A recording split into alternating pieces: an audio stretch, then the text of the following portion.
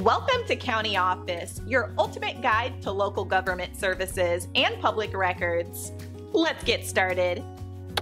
How can I find Monroe County, New York death records? To find death records in Monroe County, New York, start by visiting the Monroe County Clerk's Office. They maintain vital records, including death certificates. You can request records in person or by mail. For in person requests, visit the office located at 39 Main Street, Rochester, New York. Their hours are Monday through Friday, 8:30 a.m. to 5 p.m. If you prefer to mail your request, send it to the same address. Include a completed application form, a copy of your ID, and a check or money order for the fee. The fee for a certified copy is typically around $30. Processing time for mail requests can take up to 10 business days. Be sure to provide as much information as possible, including the deceased's full name, date of death, and place of death.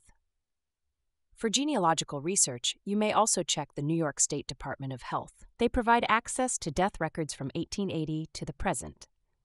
Keep in mind that access to certain records may be restricted.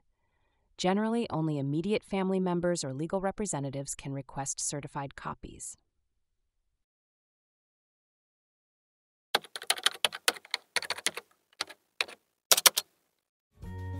To learn more, check out these links, which you can click in the description below. And feel free to comment your questions. We're here to help. Thanks for tuning into our video. Please like and subscribe and leave a comment below. See you in the next video.